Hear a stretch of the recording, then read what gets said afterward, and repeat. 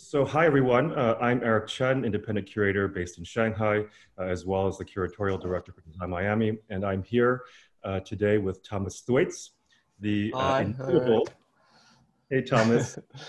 Uh, Thomas is the inimitable um, London-based designer, design pro uh, provocateur, perhaps um, best known for his heroic efforts at doing everything from building a toaster from scratch to living life as a goat as in like the animal, the, the goat. Um, was it not my greatest greatest ever life or whatever it is? Yeah. yeah. You know, we were in Bethlehem because we were both in Tel Aviv um, because uh, you had kindly uh, participated in an exhibition that I um, worked on at the Design Museum Holon, uh, which opened in, in December called State of Extremes. Um, now that, that, that show was sort of looking at uh, how design and designers, um, uh, what role they might play in kind of articulating and moderating um, and, and mediating uh, the sort of condition of extremes that, that one might argue that we found ourselves in and, and, and continue to find ourselves in, uh, whether we're talking about extreme weather, extreme uh, political polarization, extreme uh, inequality and kind of the mechanisms. We wanted to look at the mechanisms that, that drive those extremes um, and why we're kind of barreling, it seems, constantly towards ever greater extremes. And, you know, you had um, your project, Voodoo Economics, uh, in there. And, and, and I was just curious to hear from you sort of, you know, a few months later, uh, you know, what, what, uh, uh you know, if, if, if how how you might reflect back on uh, on the experience of of, of being in, in, the show, which is of course closed now, though it though it'll mm. reopen at some point. Yeah, I mean, I I, I think your I don't know, you know, uh, your kind of curatorial sense, Aric, was was pretty good because you know you, as in you know you kind of spoke about um, you know calling it the state of extremes. And like a state you know as you kind of wrote is not the same as uh, like an extreme moment. It's kind of a sort of a feeling of like you know just being in a kind of you know constant extreme sort of uh, situation. And so yeah like this kind of global pandemic is you know is like another sort of addition to that you know long kind of line of extreme things that seem to be happening. Um, and so i guess for me the big question is like you know it, is it does this kind of state just continue? And it's this like rolling series of kind of you know feeling like we're in like this extreme sort of zone and and you know the the extreme itself is the new normal. Or is there like a kind of you know a uh, sort of catastrophic change you know um, which is you know are we building up to something or or is this you know or is it just a kind of a feeling of you know endless extremes kind of thing. Um, and of course you can't really know because you can't really kind of you know you, you, you don't have like a sense of the arc of history or you know maybe there is an arc of history maybe there isn't you know.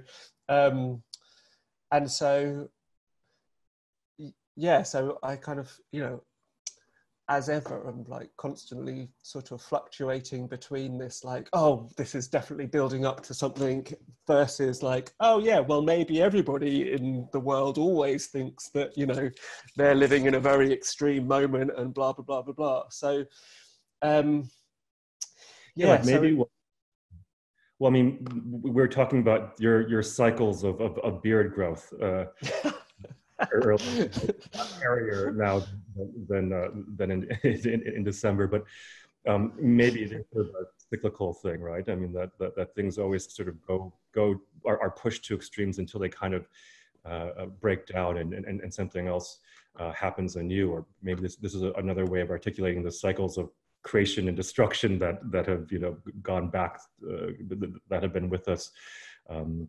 mm. Uh, since for, for, uh, for, a very long time, or, or mm. way of saying, you know, talking about the the swings of the pendulum.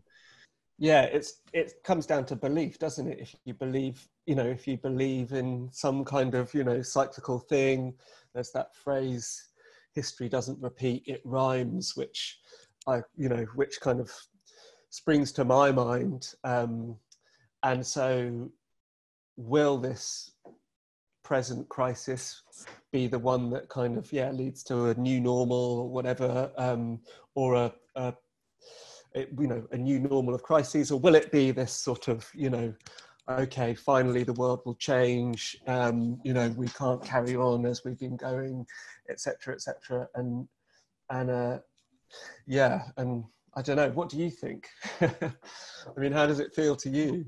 Well, I mean, like you, like you mentioned. Um, that the exhibition state of extremes sort of feels somehow more resonant now uh, but, mm. but it's not just that show uh, you know, they're they're uh, talking to other curators or or or, or just uh, looking back at what a lot of people were, were already working on.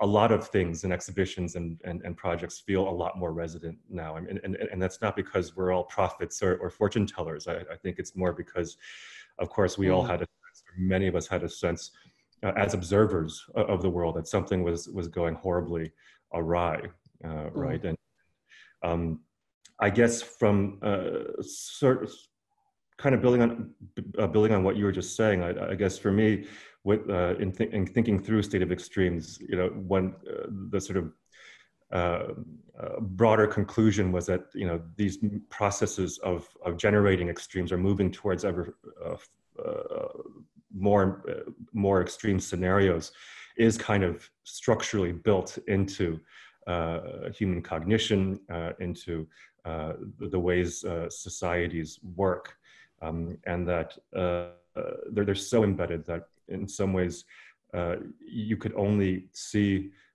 this, this you, you could only see them heading towards a kind of breakdown, and, and, and, and only by mm. things snapping somehow um, uh, could you kind of reset and and I, I, guess for i mean that, that's that's what I find so fascinating about uh, you know speculative design, you know, which is a sort of field that you're you're sort of uh, uh, uh, included in, because a lot of speculative design is about starting with a question or a scenario and then kind of taking it to its logical conclusion as far as you can, t- taking it to mm. a, a extreme. I mean, is it fair to say that that uh, with your work, the ultimate destination is is failure?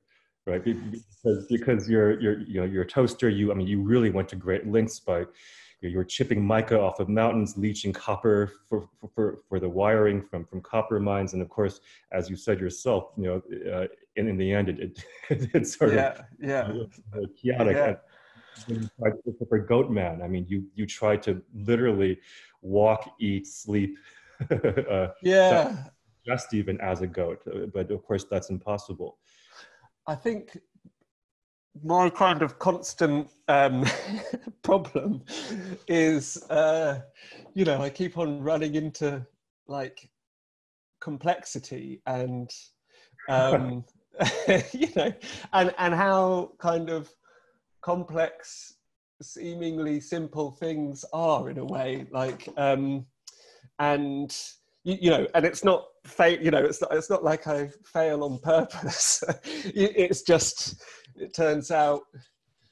You know, it turns out what I want to do um, is is like really kind of complex and difficult kind of thing. But uh, you know, to me anyway, at least at the beginning, it doesn't seem like it it should be.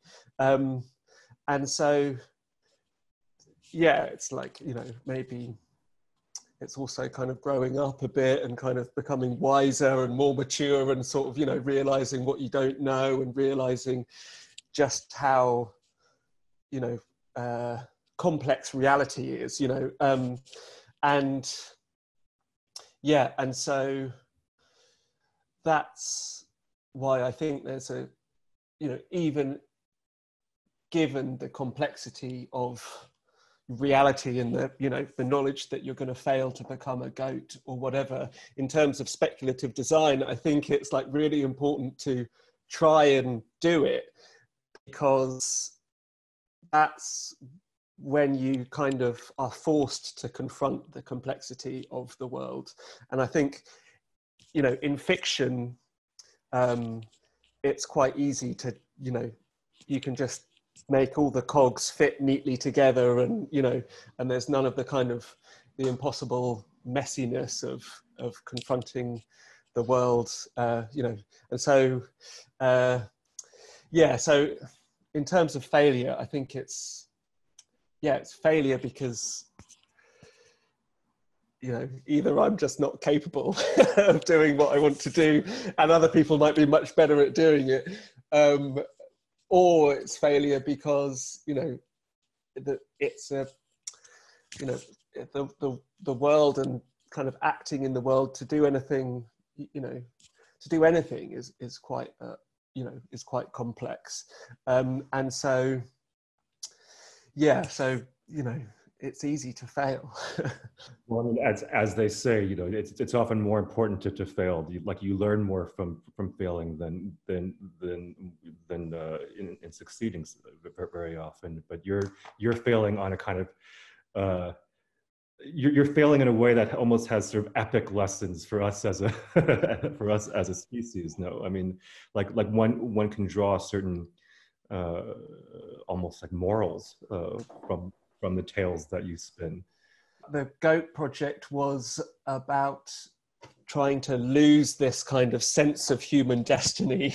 Um, and it was about trying to kind of recognize that there is no, you know, there is no destiny for humanity, like built into the workings of the universe, you know, unless, you know, unless I get religion or something like that. Um, and so, and so in terms of like a the creature that we are this kind of you know biological creature that has been kind of you know brought so you know so low let's say by uh, this kind of tiny you know tiny tiny tiny nanoscopic kind of virus um, for example you, you know we have to recognize that that humans are just kind of creatures. We don't have this kind of manifest destiny amongst the stars kind of thing, even though our kind of literature seems to sort of, you know, our fiction seems to kind of feed us that kind of, uh, or, or we feed ourselves that sort of sense. And so for me, the Goat Project, the moral that kind of came out of it was like just trying to be kind of more humble and trying to recognize that there is no kind of necessary upwards trajectory. And and you know having read the kind of you know the sort of steven pinker better angels of our nature sort of you know read that book and and that does you know which is all about how humankind is you know living its living much better than we ever have and we should all kind of stop worrying and you know let's just kind of um, yeah acknowledge that that the world today is a much better place than it was before and it will keep you know going up almost you know the, the curve will keep going. Maybe we need to let go of that and kind of understand i don't know that that there that there isn't that kind of upwards trajectory. And and so again it comes back to this kind of crises and you know, and reversal and pendulums and. So there's a there's a, a non-zero but very small risk that TMS can induce a seizure. So that's the hardcore risk. So this is the TMS coil. It's on and it's set so that it'll, it'll do stimulation. If I step on this, you can hear it. It makes yeah. a clicking noise. Yeah. Basically, because the magnetic field sort of comes on and off so quickly that it actually creates what are called the Lorentz forces that make a physical sound. I suppose it should be. Um who's that trip trapping over my bridge? said the troll. There, yeah. There are old uh, ways, different ritual and magic ways it's done, and spiritual ways it's done within shamanic tradition. And one thing is, in fact, that you let the outer form or the movement, that you start by imitating that, and by that yeah. you you can better get a feel of how to become that animal when I was small, for some reason, I decided I would eat from a bush without using my hands. eating directly from a tree without using your hands was profound. Taking hands out of the equation, yet doing something so familiar like eating, made me feel like a different creature in a way. And so I guess I was trying to, I'm trying to recapture that feeling. The problem is, without being able to know what experience of a goat or whatever is like, it's not clear how you would know whether you had succeeded, right? Yeah. So you could imagine that you could start to inactivate parts of the brain, and that that might sort of be a sort of fairly crude approximation. So, for instance, I mean, if you could just turn off language in a person, we can't do that at the moment, but imagine you could. Not just your ability to enunciate the words, but your ability to, to perhaps manipulate those ideas in that kind of fashion anyway. And if you could turn it off and turn it back on, then you're getting there, right? Because you could you could then ask somebody. Maybe becoming an animal is about relinquishing control over your own fate in a way.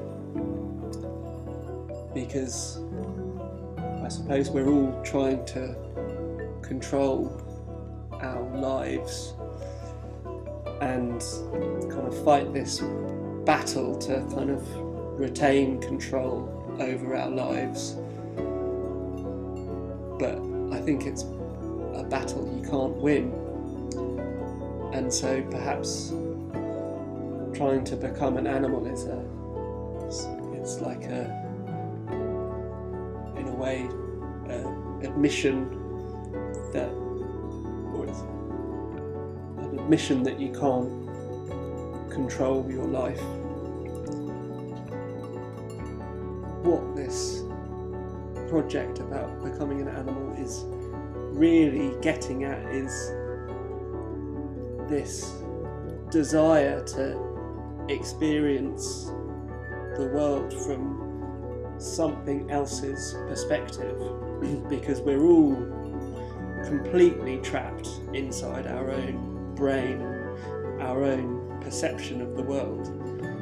And so, what I'm trying to do is to try and kind of get outside of myself and try and experience the world from a completely different perspective. A goat, it's living in the same physical space, but it sees these objects in a completely different way.